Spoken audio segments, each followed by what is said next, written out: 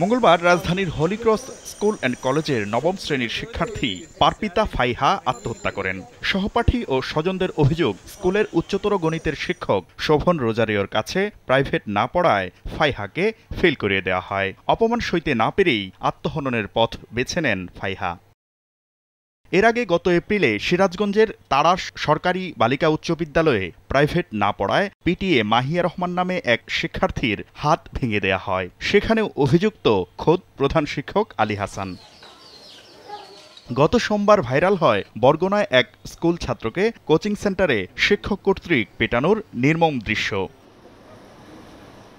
অভিভাবকরা বলছেন সংশ্লিষ্ট শিক্ষকের কাছে প্রাইভেট না পড়লে নম্বর কম দেওয়ার পাশাপাশি শ্রেণীকক্ষে মানসিক ও শারীরিক নির্যাতন করা হয়। বাধ্য হয়েই শ্রেণি শিক্ষকের কাছে প্রাইভেট বা কোচিং করাচ্ছেন তারা। কেন পড়বে না? না পড়লে নাম্বার ম্যাক্সিমাম টাইমে নাম্বার কম দেয় আর মিসবিহেভ করে। টিচার একটা মানে চিহ্ন করে রাখে যে এই বাচ্চাটা ওকে সবসময় দেখে রাখব অন্য টিচারকে ওয়ার্নিং করে যে এই বাচ্চাটার পরীক্ষার সময় খেয়াল রাখো এ কিন্তু অন্যের খাতা দেখে লিখে। আমার তিনও বাচ্চার সাথে হয়েছিল।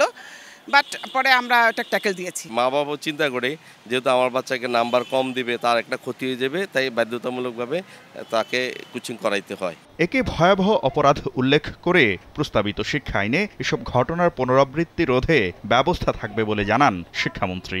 নিজের ক্লাসের শিক্ষার্থীদেরকেই বাধ্য করেন তার কাছে কোচিংয়ে পড়তে যেতে এবং না পড়লে তখন তাকে তার প্রতি বৈষম্য করেন এবং তাকে হয়তো কখনো কম নম্বর দেন, কখনো ফেল করিয়ে দেন। এটি খুবই অনৈতিক, এটি একেবারেই অপরাধজনক একটি কাজ।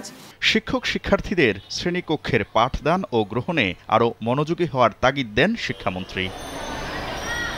শাকির আহমেদ, সময় সংবাদ, ঢাকা।